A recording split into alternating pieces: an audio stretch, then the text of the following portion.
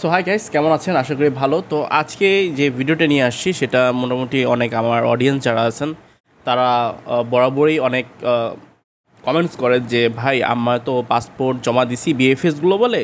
তো আমার যখন রেফারেন্স নাম্বার দিয়ে চেক করলাম, তখন এই মেসেজটা আসতেছে। তো মেসেজ মূলত তিনটি আসে। যখন রেফারেন্স নাম্বার দিয়ে আপনি ট্র্যাকিং করবেন আপনার ভিসা যে স্লিপটা দিয়ে থাকে ভিসা অ্যাপ্লিকেশন জমা দেওয়ার পর বিএফএস গ্লোবালে যে স্লিপটা দিয়ে থাকে, আপনার যে টাকার রসিদের সহ এবং পাসপোর্টের কপি সহ যে তিনটা মোট- মূলত রিসিট থাকে।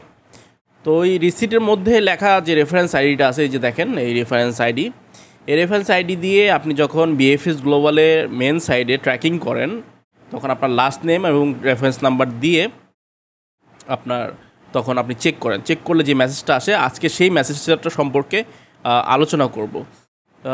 তো মোট তিনটা মেসেজ যদি আমি ভাগ করি, তিনটা মেসেজ আসতে পারে আপনার। যদি আপনি জমা দিয়ে থাকেন বিএফএস গ্লোবালে প্রথম মেসেজটি হচ্ছে কি?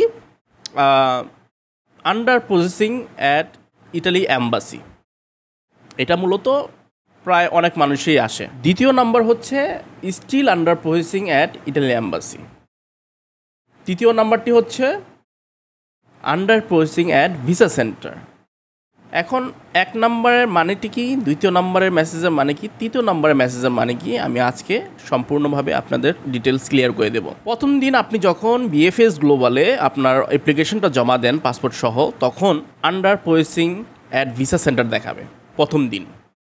এটা ভ্যারি করে যেমন তিন চার ঘণ্টার পরও আপনার ওটা চেঞ্জ হয়ে under processing at Italy embassy চলে যেতে পারে বাট সম্পূর্ণ ডিপেন্ড করে ভিসা সেন্টারের উপর মানে বিএফএসগুলোর উপর কত তাড়াতাড়ি আপনার ইটালি অ্যাম্বাসিতে পৌঁছে দেয় তাদের ফাইলগুলো ওকে তো এক নাম্বার মানে হচ্ছে আপনার যদি under processing at Italy embassy থাকে, তাহলে মনে করবেন যে আপনার সম্প্রতি আপনি ভিসা সেন্টারে ফাইলগুলো জমা দিয়েছেন, যেটার সময়সীমা মূলত তিন মাস। এই তিন মাস Italy under processing at Italy embassy দেখায়।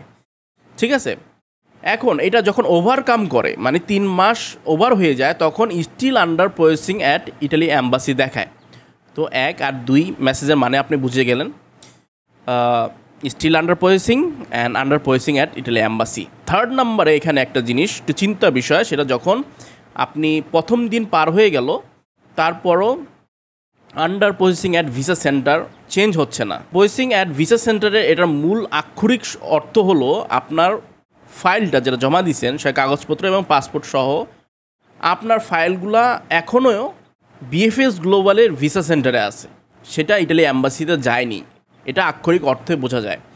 এখন আপনি বলবেন যে, ভাই, আমার তো এক মাস চলে গেল, এখনও ভিসা সেন্টার দেখাচ্ছে under processing at visa centre দেখাচ্ছে।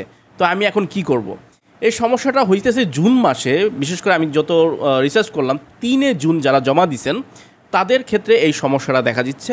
তাদের এক মাস হয়ে গেছে, কিন্তু ভিসা সেন্টার চেঞ্জ হচ্ছে না, ইটালি অ্যাম্বাসিতে রূপান্তরিত হচ্ছে না। মানে তাদের ফাইলগুলো এখনও অ্যাম্বাসিতে না, বিএফএস গ্লোবালে পড়ে আছে। এখন এখানে যদি আপনি, আমরা বিশ্লেষণে যাই, এখানে চিন্তার কোনো কারণ নেই। তিনে জুনে একটা সমস্যা হয়েছিল সার্ভারে, তারপর থেকে ওই তিনে জুন যারা ফাইলটা দিছেন, সেটা চেঞ্জ হচ্ছে না। ভিসা সেন্টারে আছে। মূলত তারা এখন ইটালি অ্যাম্বাসিতেই আছে। ঠিক আছে? কোনো চিন্তার কোনো বিষয় নাই। মূলত এক দুই দিন পরেই এটা চেঞ্জ হয়ে ইটালি অ্যাম্বাসিতে চলে যায় সব ফাইলগুলোই। তো যাদের জুন জুন মাসে মোটামুটি এখনও ভিসা সেন্টারে দেখাচ্ছে, তাদের কোনো টেনশন নাই। ইটালি ইটালি অ্যাম্বাসিতে চলে গেছে। জাস্ট হয়তো বাঘ থাকার কারণে সিস্টেমে গলত থাকার কারণে এই মেসেজটি আপনার আসতেছে। তো বুঝে গেলেন তিনটা মেসেজের মানে কি? কোনো চিন্তার বিষয় নেই। তিন মাসের ওপরে যাদের প্রায় ছয় মাস, নয় মাস, দশ মাস হয়ে যায়, তখন তাদের still under processing at Italy embassy দেখায়।